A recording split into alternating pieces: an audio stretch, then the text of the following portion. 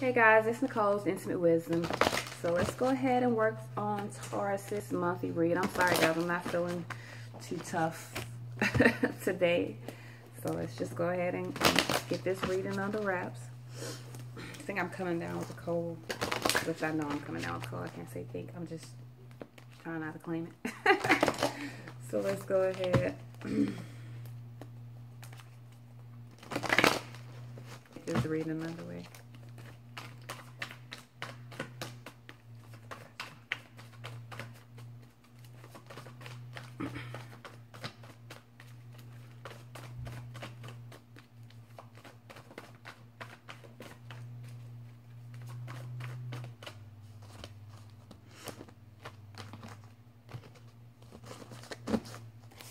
Let's see what we got.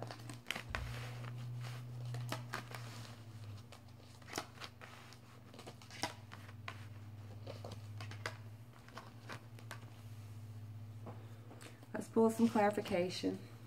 And y'all know we got to do right with the clarification. We can't be pulling mad clarification like we always do for Taurus. I think I said in the last one, so we're going to have a pull like I pull for everyone else. Clarification for Taurus, November 2017.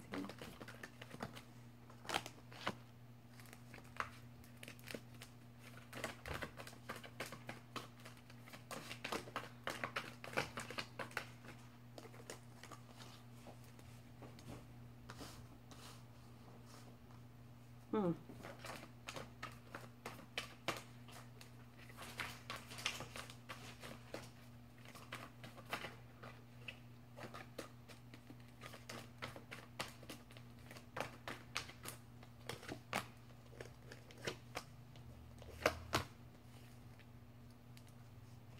All right, so the underlying energy I have is the Queen of Cups, which represents um, trusting your intuition, caring for yourself, caring for others, being a nurturer. This could also represent a relationship that's going to a new level.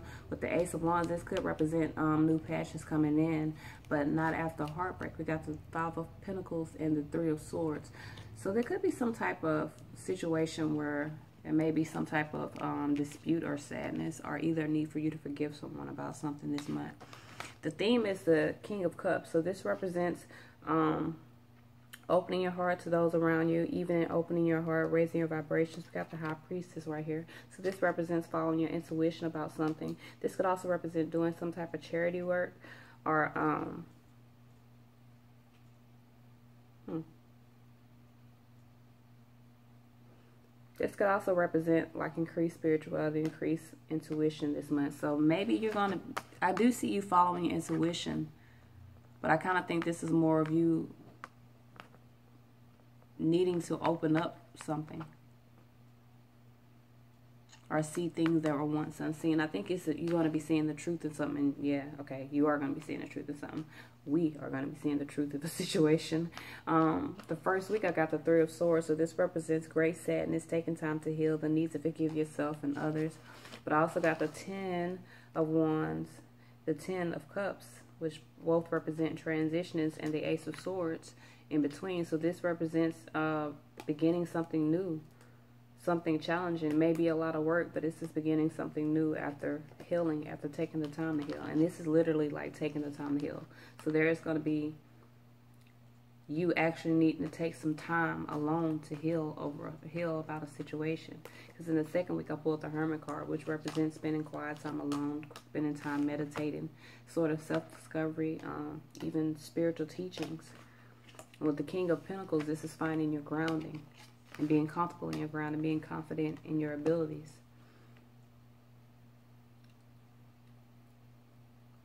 And I think within this self-discovery, you're going to find your confidence. You're going to find your stride because in the third week, we got the Eight of Pentacles, which represents skill, work, being rewarded, um, learning there all there is to know about a topic.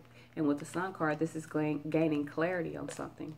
So this is you're going to be gaining clarity um, I think what it is is this is a, I believe this is a spiritual journey and someone's gaining clarity through this spiritual journey after some sort of healing process. Maybe um, you go through some type of meditation or even go through what some call the dark night to where you find some type of clarity in your life about a situation. And then the fourth week we also got finding clarity or events happening with great speed. We also got the Four of Cups. So this could be something happening great speed to where you're rejecting it. You're not wanting to accept it. Um, and this could be you wanting to take time before actually moving forward with something. Because the knight of swords represents taking time or to carefully review your options. And the four of cups represents taking time before accepting something. So you're possibly wanting to where we're possibly wanting to take our time before actually accepting a situation or something that's going to transpire within the last week of november. So let's go ahead and pull gonna pull some ascending masters oracle cards so we can see what messages we have. Okay. Well, they fell out. So we got write. So this could be sending messages. This could be communicating with someone long distance. This could be um, actually like writing, detailing, writing out a plan. We're gonna pull. Here it is. Let's get a, a deeper definition of write.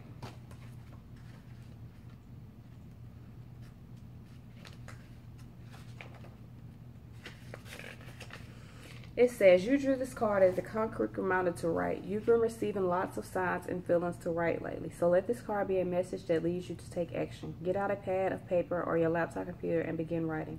Don't worry about punctuation, grammar, or spelling, as you can take care of those details later. For now, just express your thoughts and feelings as they flow into your body, into your mind and body. Additional meanings for this card. Keep a daily journal of your feeling and experiences. Write down your intentions, goals, and desires. Channel messages from the gods and angels. Your life purpose involves writing. Write an oracle or a book, which is absolutely insane that I pulled this because that's why I said, let me get a deeper meaning. I'm, I mean, I'm a writer. This is what I do. I just haven't been writing because I've been focusing on other things. So this like a definite message for me. And I think it's awesome that it will come in the, the reading that I'm doing for Taurus because I have not been reading for myself personally for a, a, about a, two weeks now. About two weeks now. All right, so that's awesome. All right, so let's move on to the next card. We got balance, career, and home life. So there needs to be some type of balance within your career and your home life. Maybe even um, maybe you're putting too much effort into one and not the other. So there could be you needing to either balance more within um, taking care of your home and your career, or balance more within taking care of your career and your home.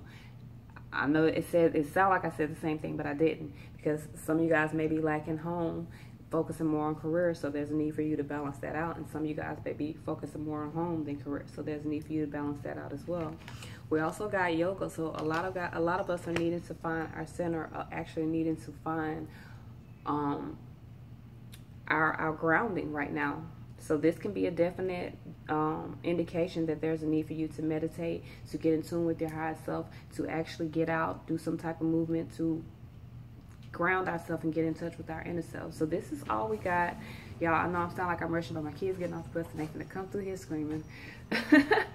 so this is all I got for the Taurus monthly reading. Um, if you guys would like a personal read, all my information is in the description. Please subscribe to my channel. Thank you for everything. I'm so sorry I'm not full of life today. I am really drained right now. But that's all I got. So y'all have a good night.